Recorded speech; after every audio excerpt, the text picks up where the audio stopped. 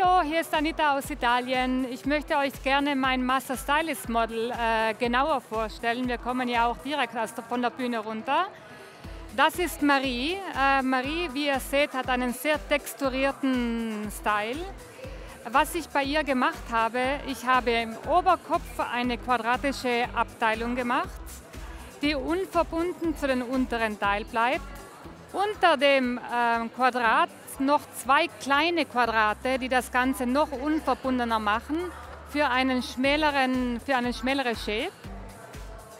Ähm, Im hinteren Bereich habe ich eine gerade horizontale äh, Outline geschnitten, danach vertikal abgeteilt und das alles in einer diagonalen Cutting Line eingeschnitten. So bleibt es am Oberkopf kürzer und im unteren Bereich automatisch bekommt es mehr Gewicht. Sobald der hintere Teil fertig geschnitten ist, habe ich mir die zwei kleineren Quadrate vorgenommen.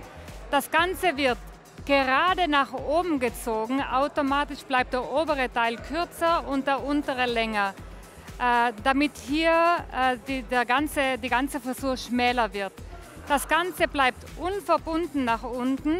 Hier bleibt das Gewicht und die Länge äh, behalten.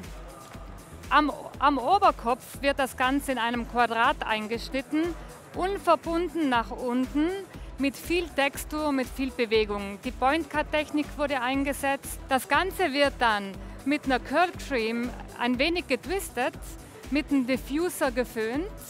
Zum Schluss habe ich einen Limiter benutzt, um den Ganzen noch mehr Textur und Bewegung zu geben. Der Style wird noch mehr edgy, ihre Locken werden noch mehr betont und das Ganze bekommt noch einen cooleren Style.